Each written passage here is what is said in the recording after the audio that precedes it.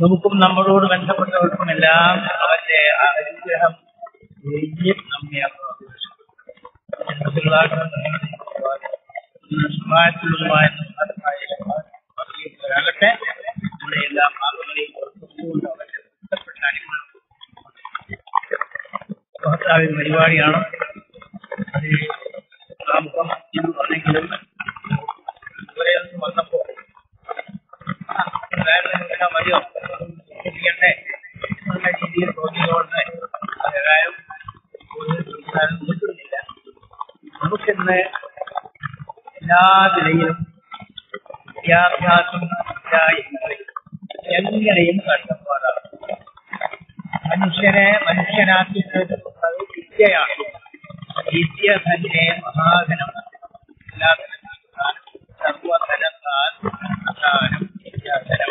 ഇത് അറിയാവുന്നവർ തന്നെയാണെങ്കിലും ആർക്കും അങ്ങനെയെന്ന് പറയലല്ല അങ്ങനെ എല്ലാം അറിഞ്ഞോളൂ. അതാണ് വലിയ അവസ്ഥ. നാം നമ്മെ ഒന്ന് മനസ്സിലാക്കിയിട്ട് ഈ പറയുന്നത് പഠിക്കാനുള്ള വന്ന കുട്ടികളെ സംബന്ധിച്ചല്ല. അല്ലെങ്കിൽ അതുപോലെ പൊതുവെ അവരും ചിലപ്പോ ഇവിടെ കൂട്ടുകാരൊക്കെ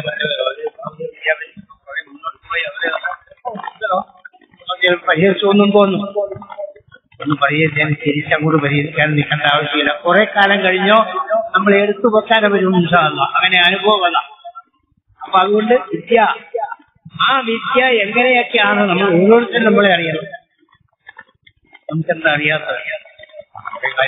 ഒക്കെ അറിയാം ചുരുക്കി പറഞ്ഞാൽ വിദ്യാഭ്യാസ സ്ഥാപനങ്ങൾ ഉണ്ടാക്കുമ്പോ നമ്മുടെ അത് എല്ലാവരുടെ മക്കൾ ഉണർന്നു പഠിപ്പിക്കാതൊരു കാരണം ചുരുക്കം പഴയ അത് മണ്ഡലത്തിലാണ് അങ്ങനെ വിദ്യ ഉണ്ടാകണമെങ്കിൽ അത് പഴയ കാലം മുതലേ വിദേശത്തു നിന്ന് വന്ന് പള്ളി ദർശനങ്ങളിലും മറ്റുമൊക്കെ വളരെ ദൂരത്ത് നിന്ന് പൊന്നാനി പള്ളി പൊന്നാനിയുടെ ആ ദർശനത്തെ സ്ഥലം പറയുകയാണെങ്കിൽ ഇന്ന് അള്ളാഹു ചെയ്ത അനുഗ്രഹം കൊണ്ട് വളരെ സുഖലോലുമതയിലാണ് വിദ്യാർത്ഥികൾ അപ്പോൾ അള്ളാഹുവിനോട് അവർ വലിയ ശുക്രന് കടപ്പെട്ട നന്ദി കടപ്പെട്ടവരാ.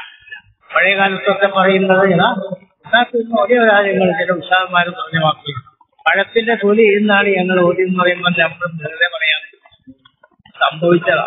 പിണ്ണാക്കെന്ന് പറഞ്ഞാൽ ഈ പശുവിനെ കൊണ്ടാൻ കൊടുക്കുന്ന മൃഗങ്ങൾ കൊടുക്കുന്ന ഉപ്പ ആശി തേങ്ങ ആശി വെള്ളച്ചിന് എടുത്ത് അത് പിണ്ണാക്കാണ് അത് തിന്നിട്ട് വെള്ളം കിട്ടാൻ ആ ആഹാരം വളരെ ഒന്നോ രണ്ടോ ദിവസം കിട്ടിയെങ്കിലായി. ഒരു പൈസ ഒരു കാശ് അന്ന് കാശായിരുന്നു. ഒരു കാശ് കൊടുത്താൽ വെള്ളം കുടിച്ചു ഇത് ഉണ്ടായി നമ്മളെ മുന്നോട്ടുകൾ ചെയ്തതാ. പഴത്തിന്റെ ഒരു ഇത് വരില്ല അത് പണ്ട് ആ പഴത്തിന്റെ ഞാൻ വെച്ച് കാര്യം കാണാം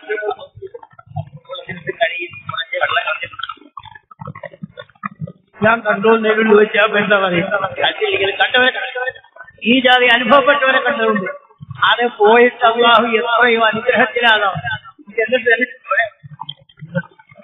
നേരം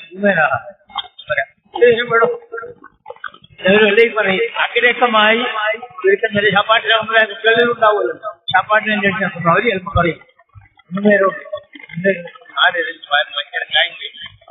അപ്പൊ അതെല്ലാം കാലം പോയി നാം ചെയ്ത അനുഗ്രഹം. അതുകൊണ്ട് ബഹുമാനികളെ ആ വിദ്യാധനം സർവധനാൽ വിദ്യ. ആ വിദ്യ അഭ്യസിക്കാൻ ആളുകളുടെ വിദ്യാഭ്യാസമില്ലാതെ പഠിക്കണം അതിനുവേണ്ടിയാണ് ഈ പാടുപെടുന്നത്. അതിന് നിഷ്കളങ്കമായ എങ്കിൽ എന്തിനാ നമ്മൾ പഠിക്കുന്നത്? ഒരു പഠിച്ചു കഴിയുന്നെങ്കിലും വരുന്നതാണ്. ബോധമുണ്ടായി മനുഷ്യനെ മനുഷ്യരായി ഒന്ന് മാതാപിതാക്കളോടെങ്കിലും എങ്ങനെ വർദ്ധിക്കണമെന്ന് പഠിക്കാൻ പഠിക്കുക അതുകൊണ്ട്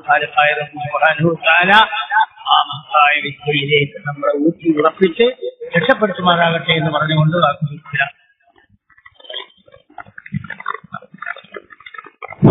അഭിവാദ്യം അർപ്പിച്ചുകൊണ്ട് സമസ്ത കേരള സുന്നി യുവജന സംഘം ജില്ലാ ട്രഷറർ ബഹുമാനരായ പി എസ് ആറ്റക്കോയ തങ്ങൾ പങ്കിക്കുന്നു നമ്മോട്